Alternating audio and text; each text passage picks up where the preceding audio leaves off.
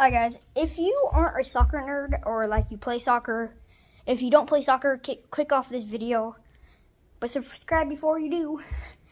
So if you're a soccer nerd or soccer, if you're or you're in soccer, you might want to watch this video because I'm gonna tell you a couple of good like practice things, uh, like good blocking, I should say.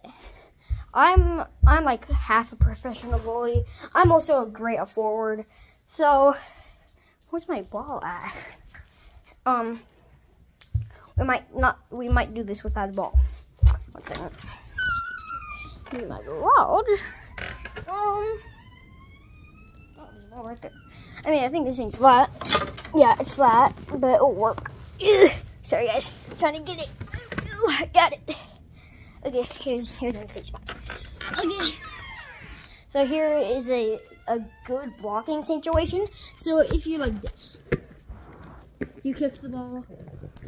Here's you do you kind of want Odie, Odie.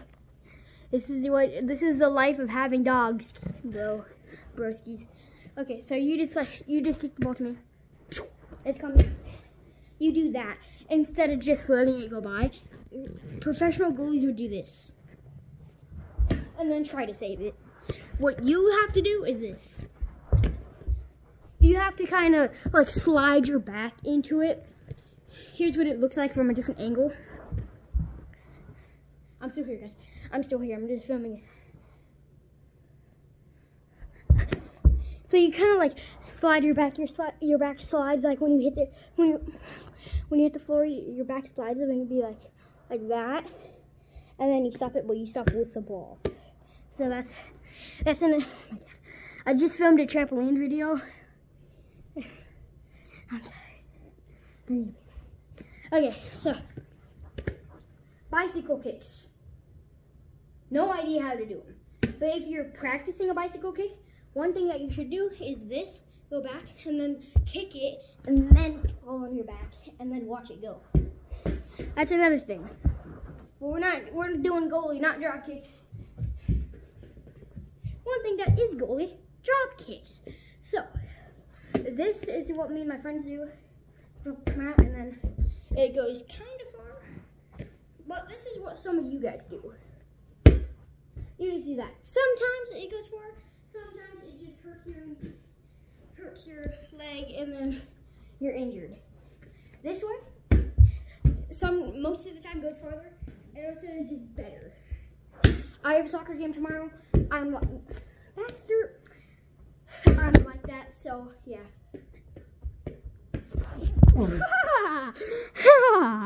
that was not intentional. I did not mean to do that. so if you're practicing like this,